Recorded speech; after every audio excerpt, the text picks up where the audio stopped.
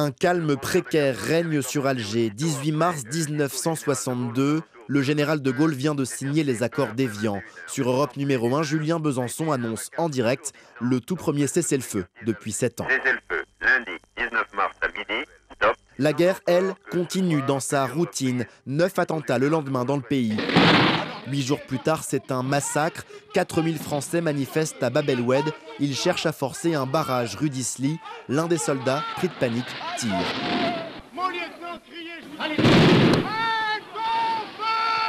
Bilan 37 morts. Ultime soubresaut sanglant pour les Français d'Algérie, car le processus politique est lancé. Les résultats du référendum qui s'est déroulé hier dans les départements français n'ont surpris personne à Alger. 8 avril, le problème algérien est réglé, dit le général de Gaulle. Les Français de métropole ont dit oui à 90% à l'indépendance. Ceux d'Algérie, eux, n'ont pas été consultés. Gris est le ciel et gris aussi l'état d'esprit des Européens pour lesquels le succès du référendum en métropole constitue une nouvelle étape vers leur nouveau destin.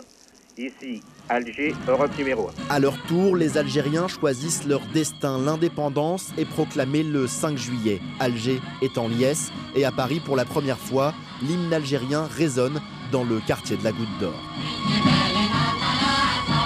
Et maintenant, on peut mettre 20 Ah, mais- francs dans le jukebox et entendre l'hymne national Oui, oui, algérien. c'est ça, oui.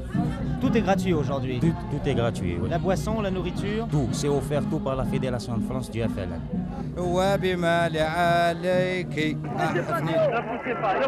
Trois jours plus tard, énorme bousculade à l'aéroport d'Alger. Le chef historique du FLN, Ahmed Ben Bella, rentre d'exil. Monsieur Ben Bella arrive à 18h. Les Algériens saluent celui qui est déjà, à leurs yeux, le chef d'un État libre, au prix d'une guerre que la France a encore du mal à regarder en face.